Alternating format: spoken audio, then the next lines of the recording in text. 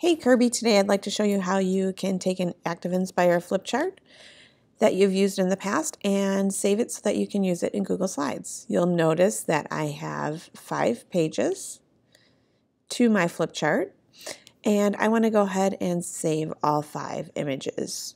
I'm going to go ahead and go to File and I'm going to export all pages to and I'm going to use JPEG because it's easier to put the image into Google Slides than it is the PDF. So I'm going to go ahead and save it to my downloads because once I'm done with it, I am going to delete it.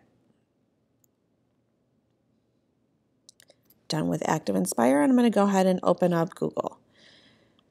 Once I'm in Google, I'm looking for the little waffle. If I'm signed in to the right, you'll see your name and the account that you're signed into, and the waffle is going to give you all of your G Suite apps. So you're looking for the yellow Google Slides. If you don't see it right away, keep scrolling down and you should find it eventually.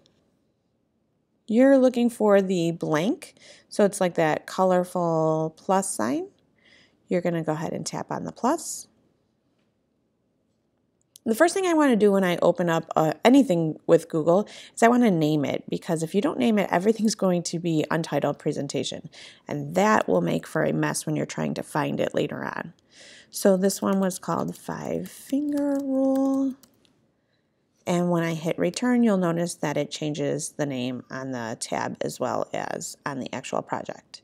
I want to go ahead and add five slides because I know that this slideshow that I want to transfer over is five slides long. So I'm going next to that little plus sign, that drop down arrow, and I'm going to choose blank because I don't need anything. I just want it to be the background.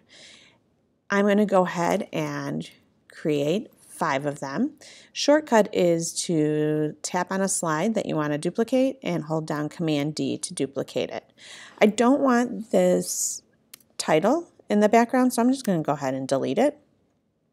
And now I'm ready to bring in my images. I'm going to go ahead and go to Insert Images and I'm going to upload and I'm looking for my slides. So I want to go to one, hit Insert, and then I'm just going to use the guidelines that are red to help guide me to center it. You can stretch it so it fills up the entire screen if you'd like, but some pictures will become distorted. Just to double check what it looks like when you're ready to present, you're going to go up to that present button on the top right. Hit present, and this will be what shows on your screen. I'll repeat the same steps for the rest of my slides. And that's how you might take an old ActivInspire and bring it into Google Slides. Thanks for listening, Kirby.